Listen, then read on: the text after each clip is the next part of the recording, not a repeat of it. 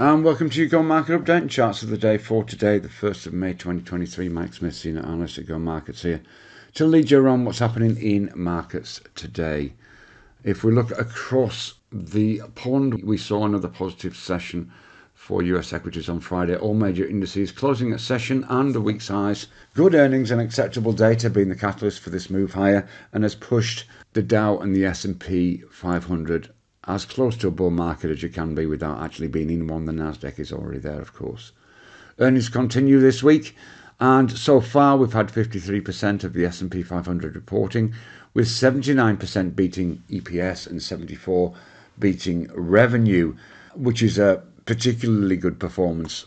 US futures are near neutral in Asia, and Asian markets are generally following that US lead, at least the ones that are open. We have many of markets shut being the 1st of May or Labor Day.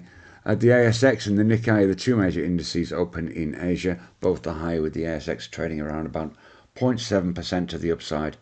European markets are closed, but the futures are higher too.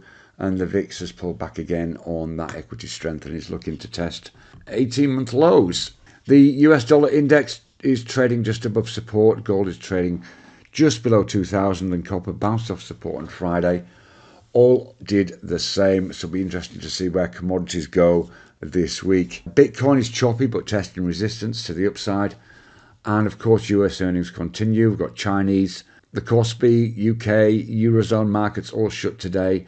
We have PMI due out of Australia and Japan, which is already out. Also later, we've got Canada and the US. Just remember the RBA rate decision is tomorrow, uh, the Eurozone CPI and rate decision and Jobs Week in the US are the highlights as the week progresses. Let's have a look at a couple of charts. And we actually like in Perenti Global, ticker code PRN. Uh, you can see the long term chart here. We actually got up as high as 135 at the back end of 2022 uh, and then took a little bit of a dive. We bounced off the 200 MA and have had a couple of tests at this level here at 126. You can see it was support here before we dropped beneath it. It was resistance here as well. And if we look at today's action, we are pushed hard against that. So a move up in the first instance could be a relatively healthy 6%. Uh, but we see this company being really strong going forward. So there could be a medium term better performance than that. But one to watch for the short term in either case.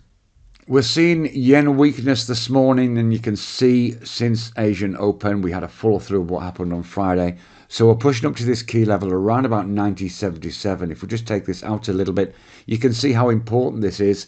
This was tested on the 19th. And if it breaches this, we would think precipitate some more buying coming into this. But you can see the fairly strong day already today to take us up to that level. Trade safe, and we'll see you again soon. Bye bye for now.